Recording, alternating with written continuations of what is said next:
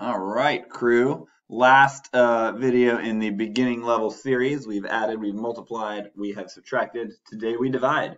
So make that the next uh, free page in your math notebook. When you have done so, mark your page, um, clear any distractions away, and concentrate with me. All right, so like I said, we've done um, equations where we add to the variable, we've done equations where we subtract, we've done equations where we multiply, and we have figured all of those out using the drawing or the visual strategy, and also the inverse operation strategy. And I'm sure you have noticed there is one operation we haven't looked at yet, which is division, which we shall do now. All right, so what if I say x divided by 4 equals 48? What is x? Ooh. First of all, it looks kind of scary because it looks like a fraction. If you're not used to seeing division that way, that's the same thing as saying x divided by 4 equals 48. Those are the same, there's just two ways to write the same thing. Uh, fractions and division are the same thing. A fourth is, you know, one thing divided into four parts. It's division. So you're usually going to see it this way, so I'm going to write them this way, but if it helps you like feel less intimidated to write it out that way, um, you're welcome to do so.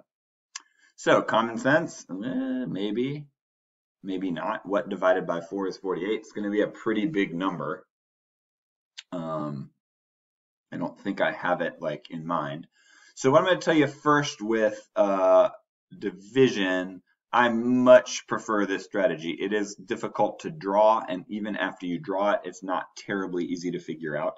So you're going to see this one the least. You don't often see uh, division in these in the advanced problems, but just in case you do, I'm going to do this first. I think this is the more reliable way um, to do that.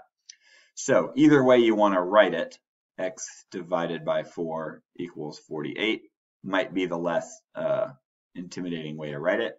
So again, always with the inverse operation strategy, I ask myself what's happening to my variable. In this case, it's being divided by 4. So the inverse of dividing by 4 is multiplying by 4. So I'm going to multiply by 4 on both sides. The reason I do that, x divided by 4 times 4, those cancel and just leave me with 1x just an x left on this side, which is great. So all I have to know now is on this side, what is 48 times 4?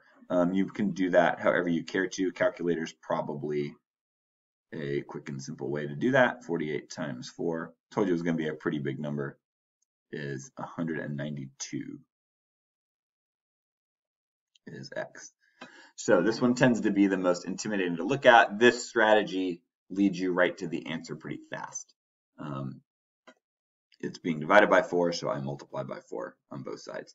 Visual strategy, like I don't love this one with division, um, but I am going to show you kind of how I would do it if I had to. It's hard to draw x being divided into four parts, but I kind of can. So remember, this is an unknown value, so what I like to do is instead of drawing an x, I'm just going to kind of draw unknown, like a blank, say, and I'm going to divide it into four parts. So what I imagine is my x being sort of like an unknown like this, like let's just say like a blank or a box, like what is that? And it's being divided into four parts. So on that side, I would just kind of imagine like what does each of those have to be in order for us to have 48 on each side. And so, well, I guess I shouldn't put all those x's in there. It's like, what's the whole thing divided into four parts equals 48. And so if that whole thing was, of course, we know the answer. If that whole thing was 192, then each part would be 48. Again, that might be a little too confusing, and you may just not like this strategy on this one, and I totally get it. Um, so I need the whole x, the whole unknown, to be 192. All right, so again, always a good idea to check. Um, x divided by 4 equals 48. I need to make sure that if I substitute